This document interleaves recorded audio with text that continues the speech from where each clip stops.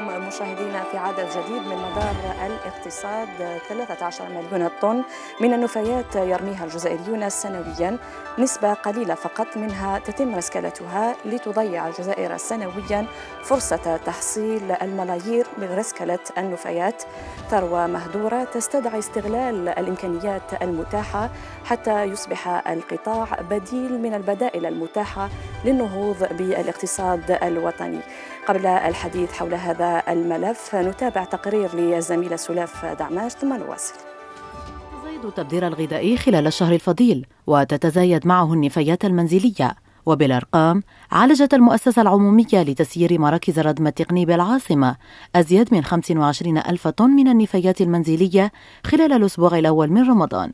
وعادة خلال رمضان يتزايد إنتاج النفايات المنزلية بخمسين بالمئة أغلبها غذائية ما يصعب من عملية جمعها وتحويلها إلى مراكز الردم التقني ومن ثم رسكلتها ويعد الخبز من أكثر المواد تبديرا لدى الجزائريين خلال الشهر الفضيل حيث يتم إنتاج عشرة ملايين خبز يوميا ثلثها ترمى في النفايات. الجزائر تنتج 13 مليون طن من النفايات سنويا ما يمثل قيمة تجارية تضاهي الأربعين مليار دينار جزائري سنويا.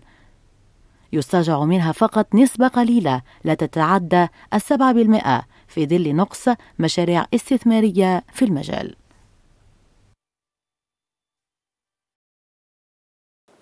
للحديث أكثر حول هذا الموضوع. إذا تحضر معنا السيدة سارة زوروت المكلفة بالإعلام بالوكالة الوطنية للنفايات. أهلا بك. أهلا. شكرا على الاستضافة في بلاتو مدار وكاله الأنباء الجزائرية. نعم شكرا لك. ويحضر أيضا معنا السيد عمار برارما مستثمر في مجال تدوير النفايات. أهلا بك. أهلا وسهلا بك.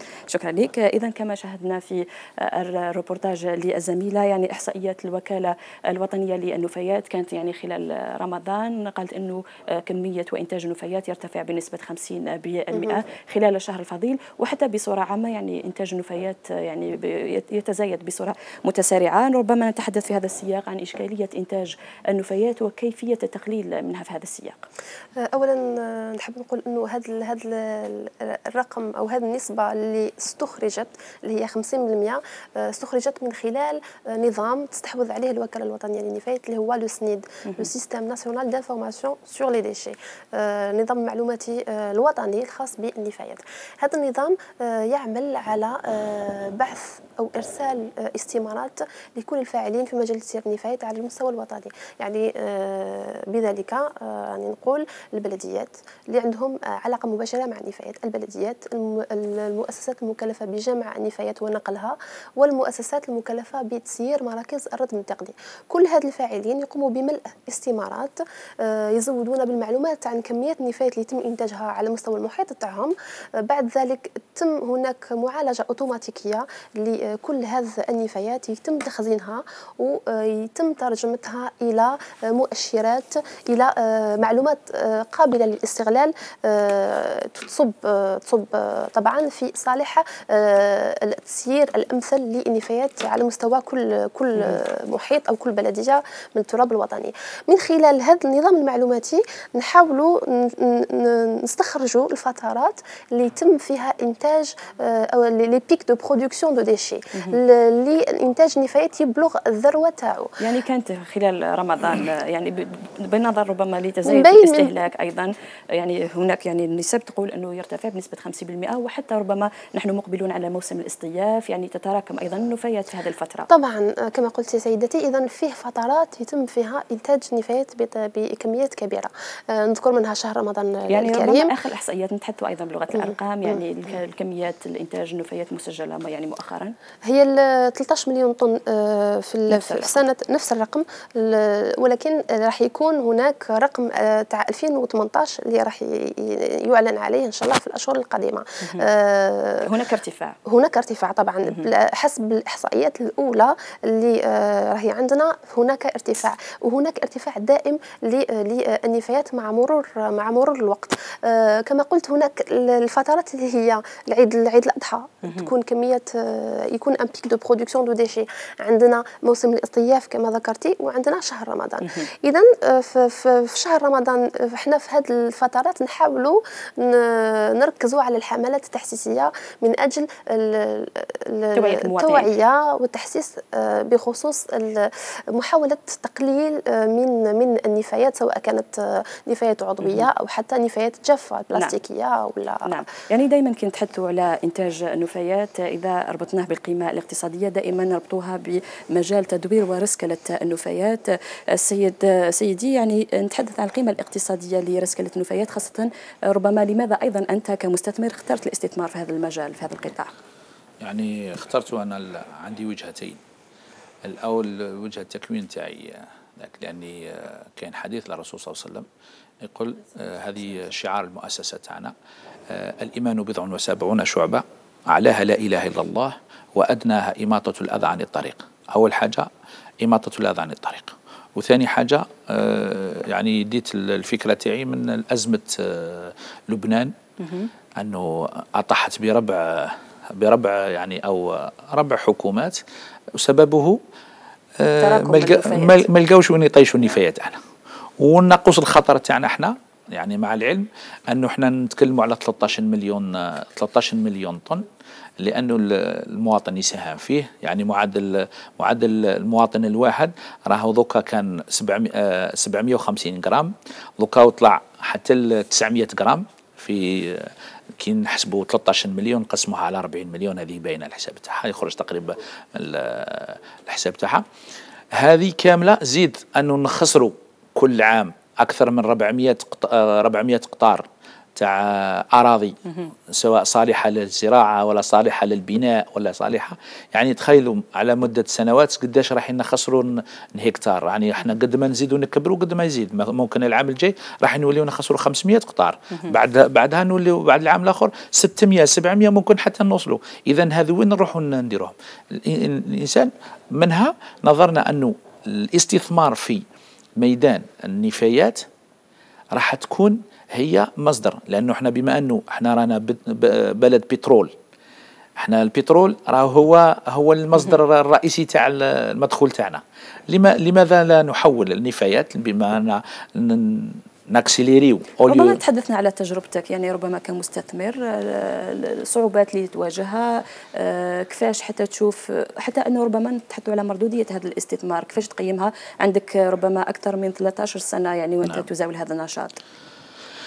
إحنا الإشكالية إحنا رانا في إحنا إحنا نخدموا ثلاث حوايج. نقنعوا الناس باش انه هذو النفايات ما نقولوا لهاش نفايات بل نقولوا لها كنز.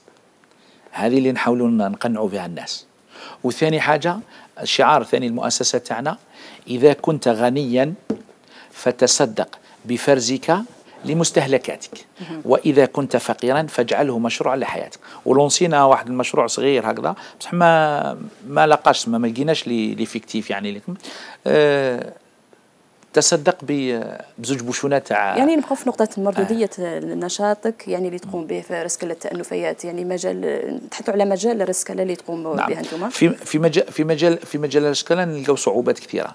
أكبر صعوبات أنه ما عندناش لي فاكتور داشا لي فاكتور دو فونت علاه لأنه لأنه مرات تروح للشركات أغلب يعني المتعاملين نتعاملوا مع الشركات. شركة بدل أنه تعطيك facture تعطيك un bon هذاك ال bon effectivement ما ما ما يغطيش ذاك ما ما يجوستيفيش مع الضرائب وما يجوستيفيش les fonds اللي تحطهم في البنكه هي الاشكاليه اللي راهي اللي راهي واقعه اللي راهي واقعه كاين كاين علاقه علاقتين ما بين البنك والضرائب والصناعه انت محسوب انك صناعي تدي تدي les agréments تاع صناعي تدي كلش انك محسوب صناعي ومحسوب في البنك أنك متعامل اقتصادي. ومحسوب في الضرائب أنك آه تاجر وعندك سجل تجاري. لكن في الواقع هذوك لما تروح تتقدم تقول له دير les factures ربما هذه الأمور اللي تخلي أنه حتى عدد المؤسسات الناشطه في يكونوا هذا المجال يكونوا يكون يكونوا يعني يكونوا يكونوا منخفض. منخفض لأنه لأنه ما عندوش ما عندوش تعليل للمداخيل اللي راح يدخلها. ربما نبقى دائما مع يعني النفايات يعني بالإضافة إلى النفايات المنزليه نتحدث أيضا على النفايات الصناعية. الجزائر أيضا تختصر أموال كبيرة. جراء عدم استغلالها أيضا للنفايات الصناعية أيضا بالأرقام ربما الأرقام أو الكميات المهدورة إحنا الرقم الإجمالي للنفايات اللي تم إنتاجها يعني tout type confondu. النفايات المنزليه النفايات الصناعيه إلى آخره. هو 34 مليون آه، طن في سنة 2017 آه، طبعا هاد هاد النفايات آه، ماهيش كلها تستغل مع إنه نعرفوا إنه القانون يفرض على الصناعيين les industriels باش يتخذوا مسؤولية النفايات مسؤولية تثمين النفايات اللي خلفوها من جهة أخرى عندنا المسترجعي النفايات ومرسكي اللي هم بحاجة إلى إلى هذه المادة. اذا في هذا في هذا الصدد كنا قد أطلقنا آه، آه، قاعدة إلكترونية اللي هي بورصة النفايات. هذه البورصة هي تسمح بربط الاتصال بين مخلفي النفايات اللي هما الصناعيين. يعني حتى شفنا في مواقع التواصل الاجتماعي عبر صفحاتكم على مواقع التواصل الاجتماعي تقوموا بعمليات تحسيس وتوعية كبيرة لتوعية المواطن بأهمية الاهتمام بالبيئة اولا. وحتى في هذا القطاع إنه قطاع رسكله النفايات من بين القطاعات أيضا المهمة لإنها تعطي دفع للاقتصاد الوطني. طبعا ونعرفوا أنه في الطبعه عندنا الصالون دولي اللي نظموه سنويا لاننا في الطبعة الرابعة من هذا الصالون نظموه بالتعاون مع لاكاسي اللي هي غرفة التجاره والصناعة الجزائرية. اذا هذا الصالون عنده زوج طبعات اللي هي الطبعة اللي فاتت والطبعة القادمة. راح يكون الموضوع تاعهم يتمحور حول لو لونتربرونيا عفوا سيركولار المقاولاتية الدائرية. يعني كل ما يخص les métiers ولا المهن المتعلقة باسترجاع وتثمين النفايات. آه في هذا الصالون آه إن شاء الله في هذه الطبعة راح يكون آه le thème تاعها المقاولاتية الدائرية un levier de développement de la gestion des déchets وسيلة لتطوير تسيير النفايات. لأنه نأمنوا إنه لما يكون هناك مستوى مرتفع من حيث التكنولوجيات ومن حيث انخراط الشباب في مثل هذه المهن راح يكون يعني هناك استجابه من القطاعات في هذا المجال. هناك العديد من يعني المجالات اللي يمكن انه نستثمر فيها في مجال رسكلة النفايات التي ترتفع سنويا لكن بالمقابل عدد الشركات ما يزال آه، يعني منخفض وضئيل هل البيئة اليوم آه، محفزة للاستثمار في مجال رسكلة النفايات؟ لماذا آه، شباب ربما حتى شباب تشغيل يعني المتحصلين على القروض وغيره لماذا لا يستثمرون في هذا المجال؟ لأنه فيها ثلاث عوائق. أول حاجة كما قلت عائق البنكي. ثاني حاجة عائق الضريبي. ثالث حاجة العائق الجماركي يعني وش معناتها؟ أنا مثلا لقيت شركات أه باش تجيب تكنولوجيا لأنه إحنا ما عندناش تكنولوجيا. وباش تجيب آلات لازمك تروح أه تشري. أنا مثلا لقيت تعاقدات مع في الخارج أنه يعطيوني وسائل الاسترجاع. لأنه لقيت لقيت مثلا نعطيك مثال. مثلا آه، تاع ثلاث mode déchets نقولها مثلا pour les couches bébé. تكلفتها أكثر من 4 مليون دولار. 4 مليون دولار و risque ما عندكش تكنولوجيا تاعها. أنا لقيت شركات أنه يعطيني يعطيني هذاك يعطيني آه، المؤسسة complète. يعني الآلات complet.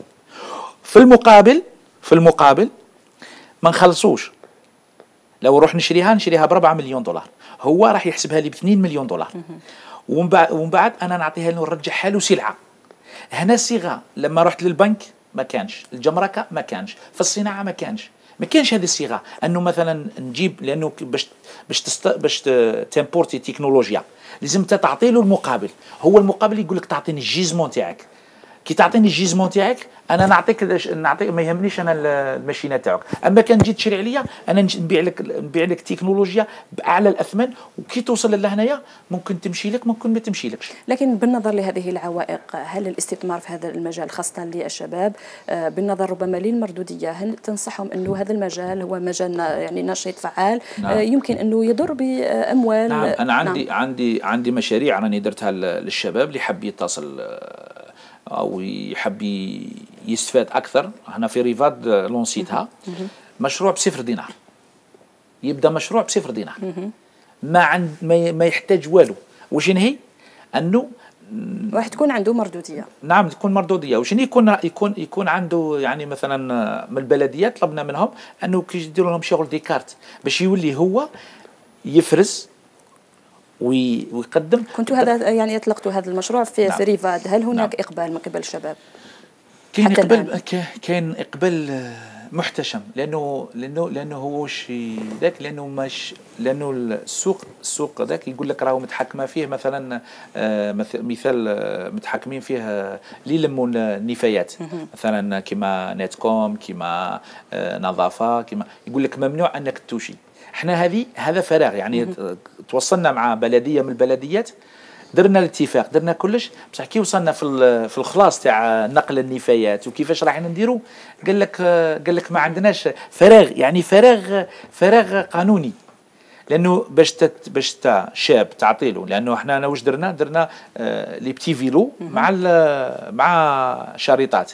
يولي وشني كل واحد واش يتخصص؟ قال مثلا هو يقدر هذيك المشي الفيلو يتهز له 1000 1000 كيلو يعني اون طون اون طون يقدر يلمها يعني يقدر يلمها. يقدر يقدر يدور يتعاقد مع المحلات يقدر مع مع مع مع المراكز السكنية. مثلا كي تعود سكنة مغلقه قال ديروا لي بلاصة نعود نهز منها.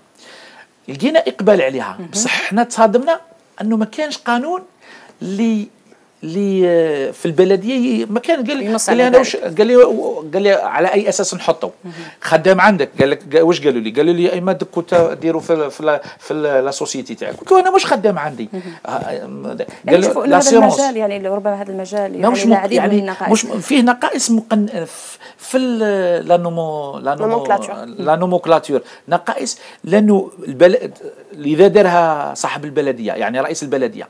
راح يخرج الوكاله الوطنيه للنفايات يعني تعنى بهذه ربما الصعوبات والعوائق اللي يشهدها نشاط تدوير النفايات؟ آه فيما يخص الوكالة الوطنية للنفايات هي هنا من أجل عندها مهمة معينة اللي هي تشجيع الشباب نعم. من أجل أجل آه تدوير النفايات لأنه إحنا يعني الغاء قال إنه هناك تشجيع للشباب في ريفاد آه، هناك مم. يعني تشجيع لكن دائما آه، يقول لك إنه هناك عوائق وصعوبات لأنه هما العوائق يعني العوائق اللي اللي اللي تتعلق بهذا هاد الشباب هما العوائق متعلقة بمجالات أخرى مش متعلقة بم... يعني بمجال متعلقة بإدارات أخرى. بإدارات يعني أخرى. نعم لأنه لأنه لأنه تتعلق بوزارة الداخلية باش تعطيك أنت كي تروح كي تروح تدور قدام الأحياء بأي صفة تدور.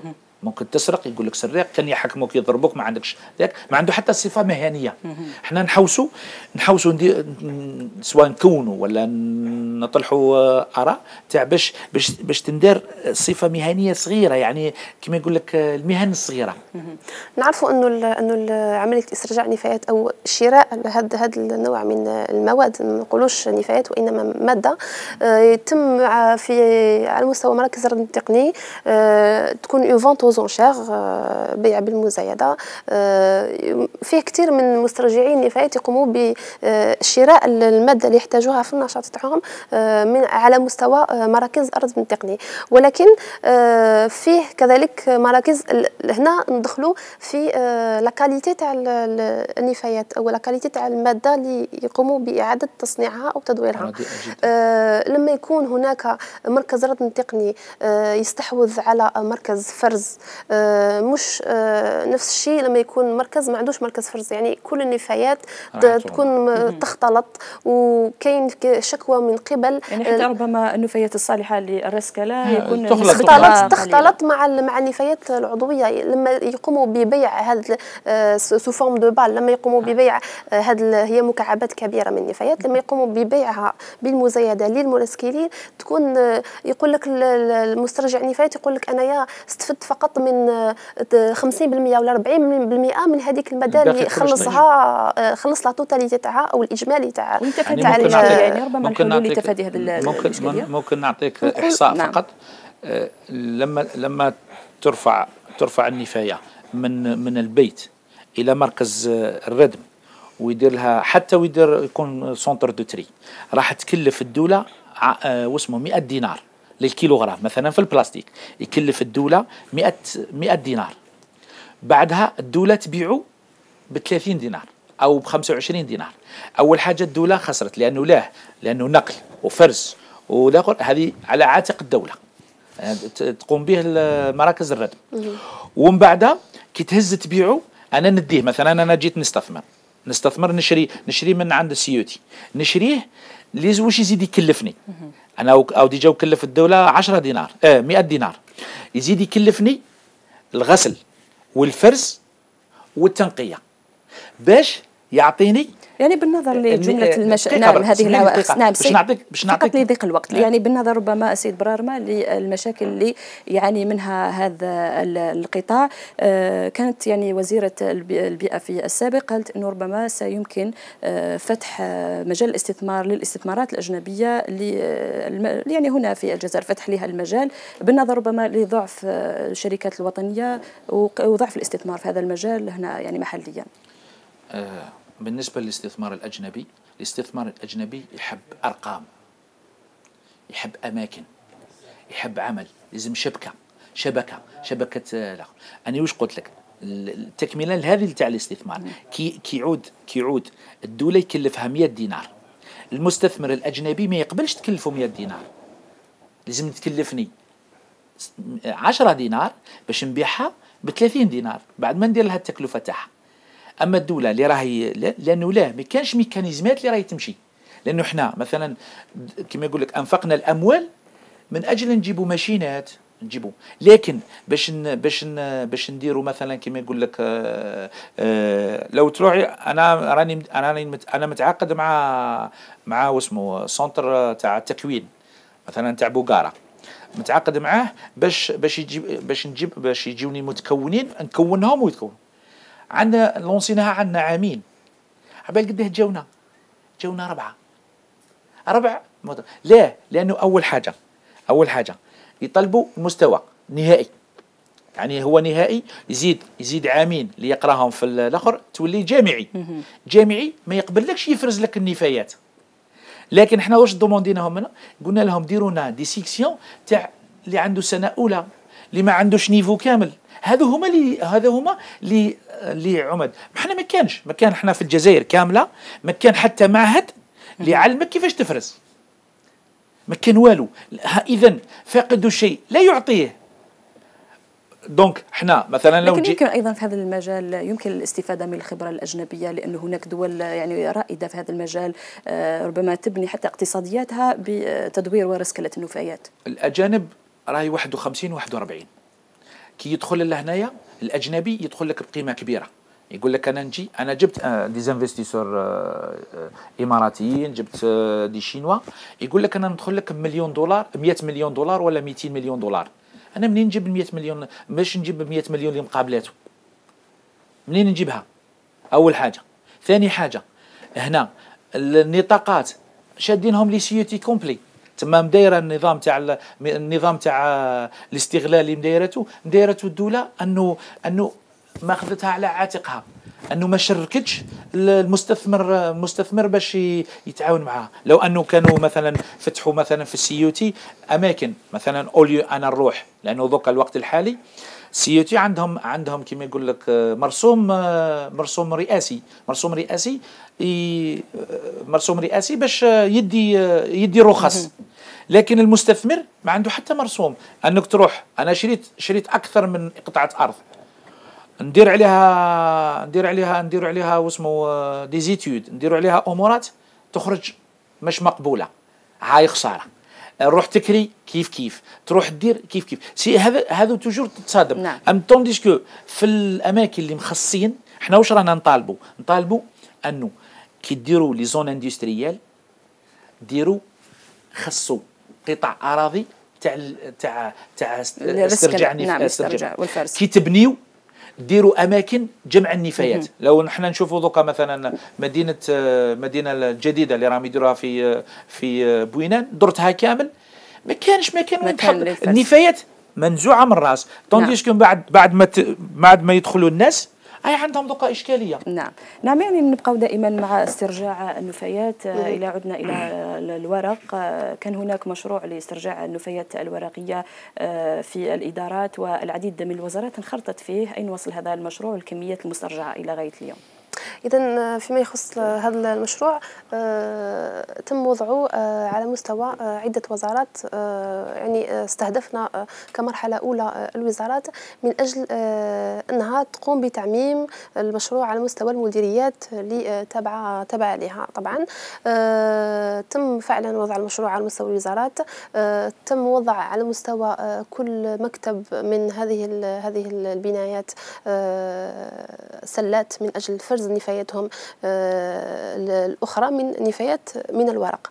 آه، يتوجهوا طبعا هذه النفايات إلى آه، مراسكي ليقوموا بتثمين هذه النفايات عفوا الورقية.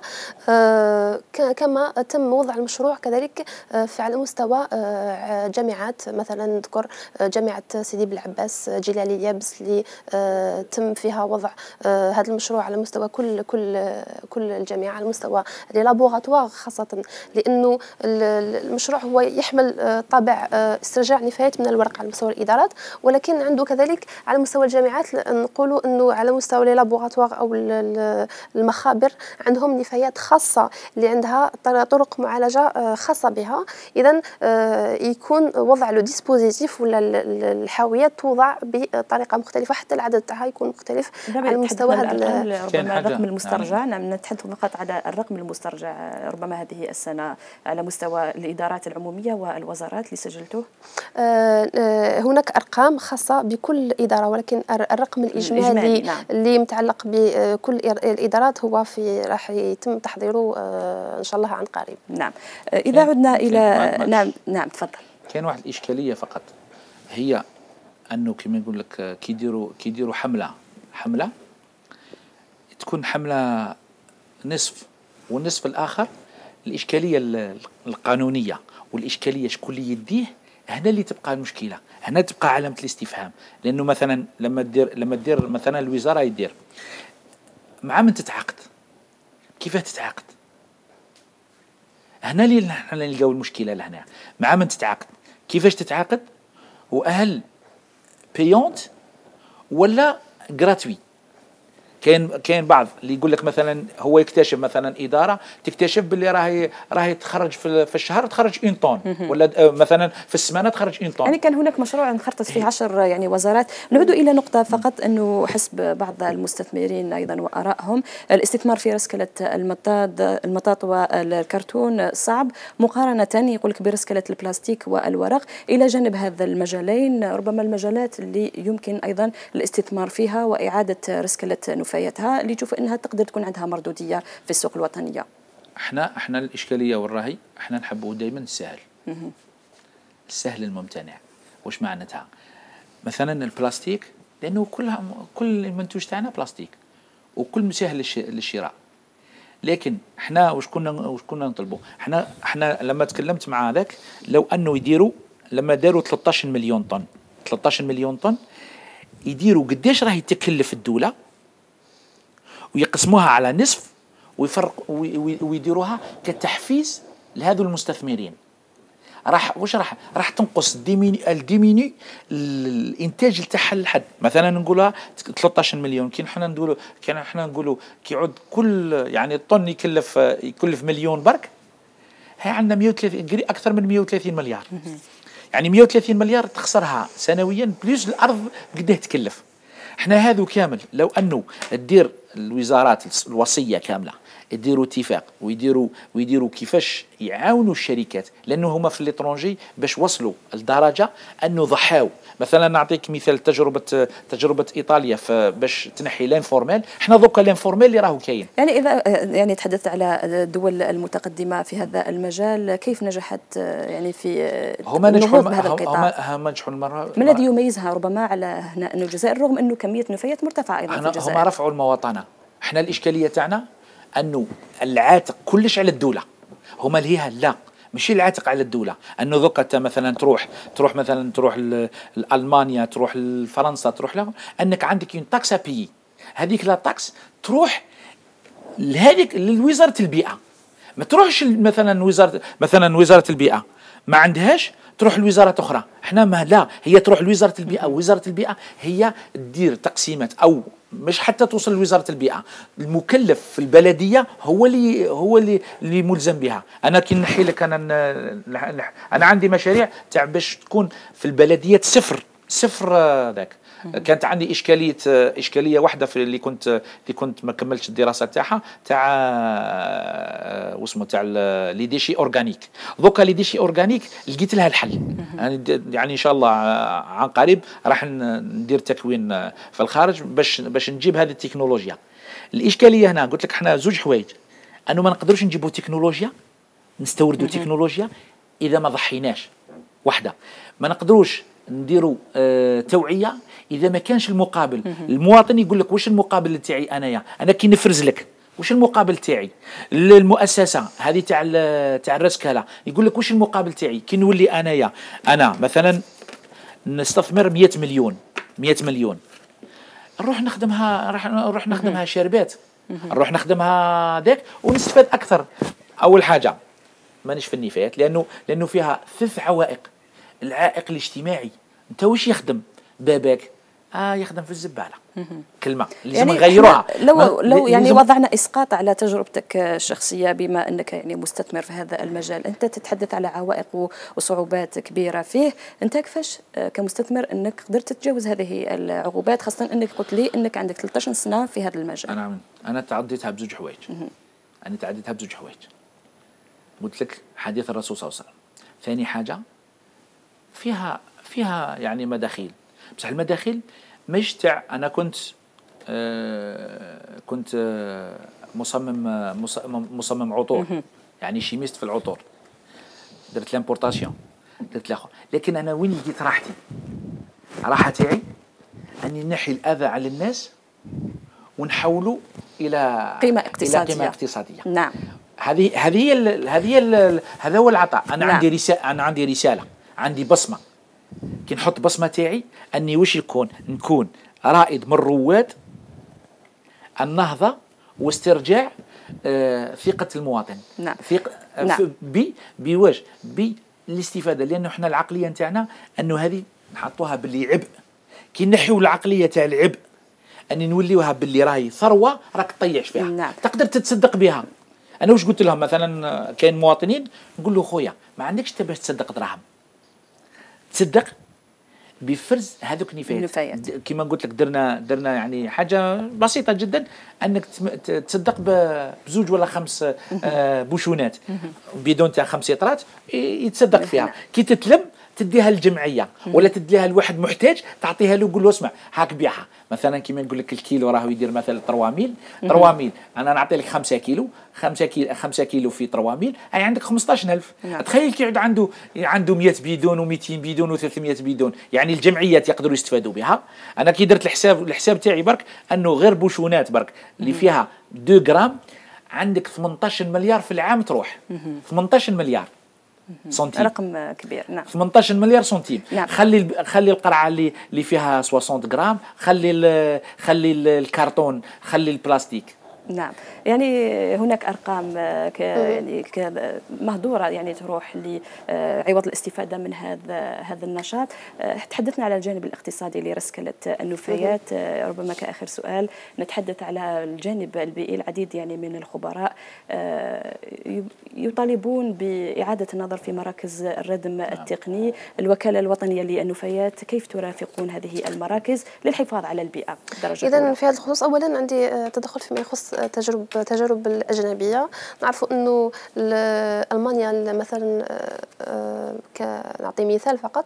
ألمانيا اللي تعتبر ان ليدر في مجال النفايات آه، مثل الاعلى في مجال النفايات في أوروبا. آه، خدات منها من الانتقال من الاقتصاد الخطي اللي هو الإنتاج الاستهلاك والتخلص من النفايات إلى الاقتصاد الدائري اللي هو إنتاج النفايات. استهلاك عفوا إنتاج المواد قيام بالاستهلاك ثم تخليف هذه النفايات وإعادة تدويرها تدويرها. لما انتقلوا من هذه المرحلة إلى المرحلة الثانية خدا منهم أكثر من 25 سنة. يعني إحنا نقولوا إنه حتى في الدول المتقدمة اللي عندها تكنولوجيات متطورة خدت منهم وقت من أجل التأقلم من أجل انخراط جميع الفاعلين. لأنه لما نقولوا اقتصاد دائري عندنا المواطن اللي يقوم بتخليف النفايات لازم يقوم بعملية الفرز. بعد ذلك هناك الجهات اللي تقوم بجمع والنقل لازم توظف آه، شاحنتين أو أكثر من أجل آه، جمع النفايات سيباريمون آه، بطريقة يعني كل كل كل شريحة على حدة. عندنا كذلك فيما فيما يخص انخراط شباب في مجال النفايات يعني كل هذه عناصر لازم تكون موجودة من أجل ضمان الانتقال نحو الاقتصاد الدائري. عودة إلى سؤالك فيما يخص مراكز الردم التقني. إحنا الوكالة سواء كان مرافقة للمراكز الردم التقني أو للبلديات أو غير ذلك يعني لكل الجماعات المحلية. فيما يخص مراكز الردم التقني إحنا نقوم بدراسة إنشاء واستغلال هذا النوع من المراكز. إنشاء هذه المراكز يعني وضع أو إنشاء الحفر اللي يتم فيها ردم النفايات. اولا نقوم كذلك بدراسة من أجل تزويد هذه المراكز بمحطات لمعالجة عصارة النفايات اللي نعرفوا أنه أنها مادة سامة وسامة جدا يعني سواء للأرض لو سول ولا حتى للمياه الجوفية. وهي هي بصفة أساسية السبب الرئيسي اللي تؤدي إلى انبعاث روائح الكريهة من مراكز الردم التقني.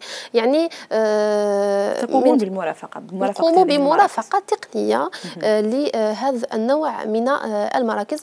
حتى أنه قمنا بدراسة مع كوريا الجنوبية. من أجل كذلك وضع فرز أوتوماتيكي c'est une faisabilité نشوف هل يمكن يتم وضع هل من الممكن وضع فرز أوتوماتيكي و une valorisation énergétique يعني تثمين أو تحويل النفايات إلى طاقة.